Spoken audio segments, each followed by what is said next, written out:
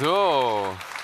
Jetzt gibt es eine kleine Pause. Es Hier wird schon umgebaut. Wir Genau. machen mal ein bisschen Platz. Wir werden den von der. Bühne geschubst. Wir haben jetzt so 20 Minuten. Eher 15, habe ich gehört, weil wir ein ganz 15 kleines bisschen Zeit. hinterher sind mit dem Zeitplan. Eher 15. Also wenn Sie kurz frische Luft schnappen wollen, auf Toilette wollen, dann wäre jetzt der Moment. Hier gibt es aber coole Musik. Das heißt, wer hier bleiben und einfach ein bisschen entspannen möchte, kann sich die auch gönnen. Allerdings, kleine Warnung, vor allem vielleicht für ältere Menschen oder auch jüngere Menschen. Ich habe auch gesehen, dass hier Kinder sind. Es wird jetzt relativ laut. Einfach nur als Vorwarnung. Wer plauschen will, vielleicht lieber im Vorraum und äh, Kindern Ohrenschützer vielleicht aufsetzen oder rausgehen, wenn es einfach zu laut wird für euch. Das, was hier passiert, nennt sich Chiptune. Es wird ähm, mit Gameboys gemacht und ähm, Nano-Loops werden verwendet. Da reden wir gleich nochmal genauer drüber mit Bobo Pika.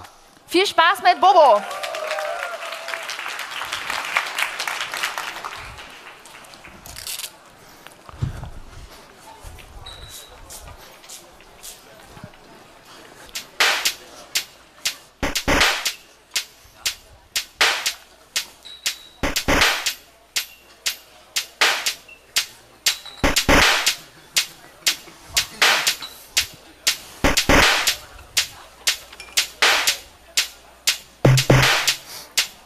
на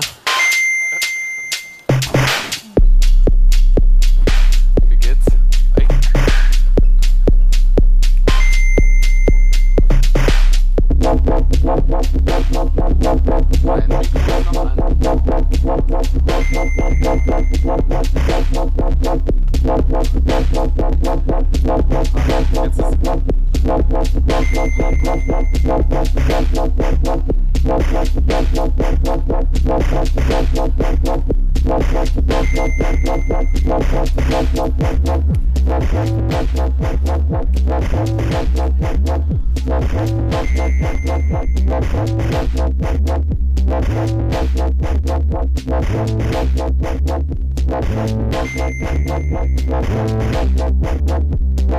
you.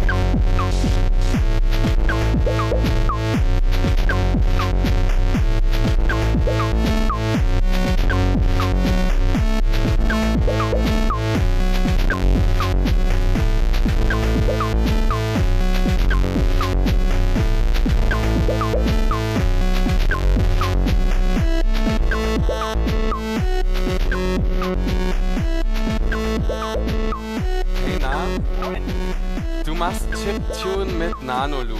Jo, Was? Ähm, was ist das? Was Äh, ist das? Erstmal machst du es sehr gut, genau. Dankeschön. Ähm, ja, im Grunde ist es ein kleines, wunderschönes Programm ähm, von einem Hamburger, ähm, ich glaube, ein Mensch-Unternehmen. Ähm, der hat damals eine Arbeit geschrieben oder sein Diplom gemacht und hat sich überlegt, hey, wie kriege ich denn Sounds aus diesem Gameboy raus? Und die beste Variante, zumindest für mich, ähm, ist eben einen kleinen 16-Step-Looper zu haben und äh, vier Kanäle insgesamt zu besitzen und aus diesen vier Kanälen eben alles rauszuholen, was irgendwie geht.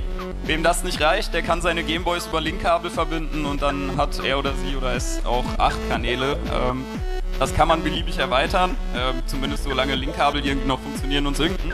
Ähm, wenn ihr wollt, kann ich euch einmal kurz zeigen, wie man so einen Grundbeat bauen kann. Ähm, Wir wollen. Ja, dann ähm, zeige ich einfach mal kurz, wie das funktioniert. Soll ich das Mikro halten vielleicht? Gerne. Äh, ich brauche leider beide Hände, deswegen geht das nicht anders. Ähm, ich weiß nur nicht, ob man, genau, ob man von der Kamera aus noch was sieht. Jetzt ja. Ähm, alles klar. Also wir beginnen mit einem komplett leeren Pattern und ähm, setzen da erstmal Töne rein.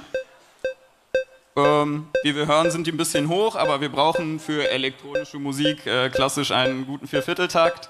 Ähm, deswegen gehen wir ein paar Oktaven runter ähm, und müssen den Attack ein bisschen anhöhen.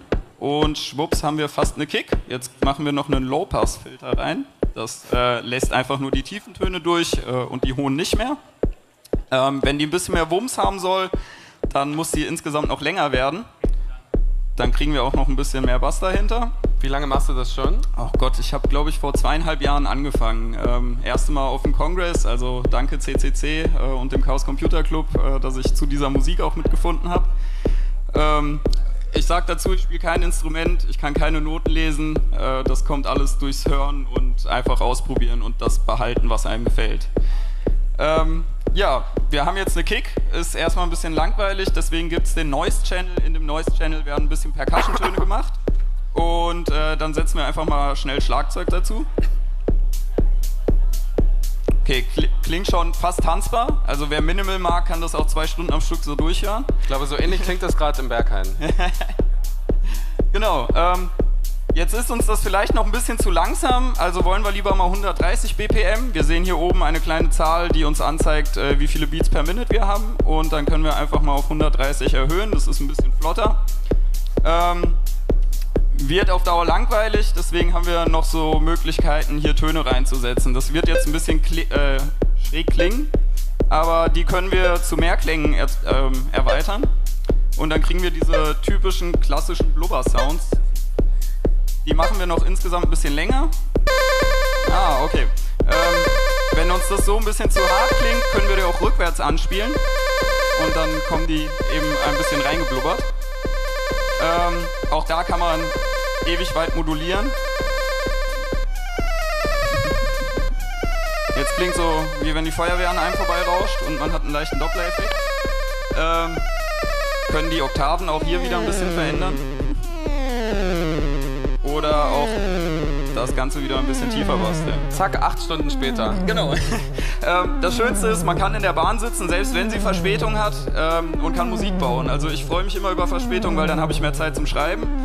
Und ähm, ja, wenn man das dann ein bisschen vorantreibt, dann bastelt man ähm, eben seine, seine Musik, seine Lieder und äh, kann dann so ganz schöne Klassiker auch nachbauen, wie etwa das hier.